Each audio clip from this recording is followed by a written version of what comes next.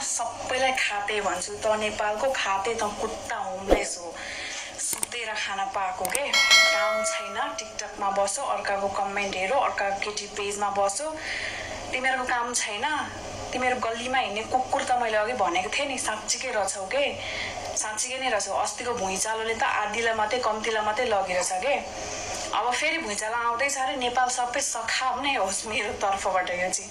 Comment of गरेको छु। लु लेख मलाई कमेन्ट लेख त कसरी लेख्दो रहेछस् रिपोर्ट गर्छस् भने घर फाइट गर्न तयार छु। च्यालेन्ज मी ओके यो खाते कुकुर नेपालकोहरूले मलाई अझै के लेखिरहेछ भने माफी माग्नु रे उनीहरूलाई। उनीहरूको कन्ट्रीलाई माफी माग्नु अरे। साले आजसम्म मैले गल्ती गर्दा त माफी मागेको छैन भने म राइटमा फाइट गर्दा तँहरूलाई म किन माफी दिनु अथवा मा माफी माग्नु तँ माग माफी हरेक भुटनिस रिफ्युजीलाई तैँले अन्डर एस्टिमेट गरेको छस् नि सबैलाई माफी माग मेरो तर्फबाट यो। बुझिस्?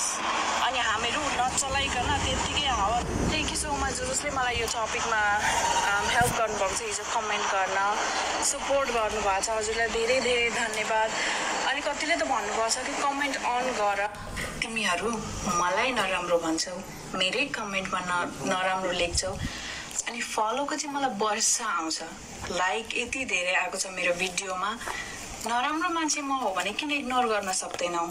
You block me? Why don't you ignore me? Hate पनि गर्नु लाइक पनि गर्नु भिडियोजमा के खालको मान्छेहरू बुझेर बुझ्नै नसक्ने। एन्ड वान थिङ तिमीहरूको क्वेसन जति पनि छ नि म चुप्प लागेर बसेको होइन के? म यो विकेन्डमा म लाइभ आउँछु। कि त स्याटरडे कि त सन्डे मेरो टाइम भएको बेलामा म लाइभ आउँछु अनि तिमीहरूको जति क्वेसनको एन्सर म दिन्छु। ओके खातेहरू जो जसले मलाई कमेन्ट गरेछ नि बुटनिस भनेर। यिनीहरूसँग मैले पनि के एक्सपेक्ट गरेको के? नहुँदो कुरामा। साले आफ्नै देशमा जातपात भनेर लडिरहेछ देशमा त कामी त दमै त सार्की त तल्लो जात भनेर मान्छे दिनदिनै मारिराखेको छ।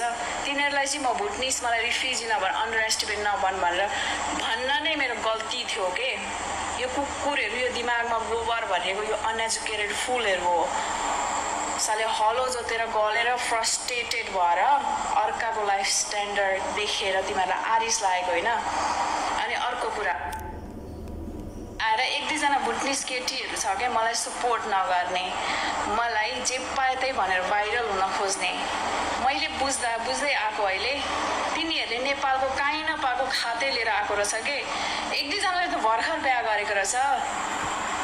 मैले भनेको राम्ररी सुन है। तँलाई ग्रिन कार्ड पाएपछि डिभोर्स दिएन भने नि मलाई भन्नु। त्यस्तो चेलीबेटी धेरै नै बिगारेको छ बुटनिस त्यो खातेहरूले। तिमीहरूले जति हार्डवर्क गरेर ल्याउँछौ नि यहाँ त्यो पानीमा बग्छ। अनि एउटा केटीले चाहिँ नेपालको एउटा एक्टरलाई बिहा गरेको रहेछ कि? हामी एउटा सिरियलमा खेल्थ्यो त्यो केटा मैले देखेको थिएँ। त्यसले पुरै फुटानी लगाइरहेछ तँलाई थाहा छ त्यसले ग्रिन कार्डको लागि तँसँग आउनको लागि त्यसको जेठी बुढी छोडेर आएको हो यहाँ। मैले सर्च सबै गरेर छु तेरो भिडियो म ब्याकग्राउन्डमा राखेर गर्छु साले अर्काको बुढा भइ भइ बुढी भइ भइ भिसामा लगाएर तानेर बुढा बनाएर ल्याउने तँ जस्तो त नि। आएर एक यो छ नि यो प्रिन्सेस वरेभर भन्ने आफूले आफूलाई प्रिन्सेस भन्न ठान्छे के?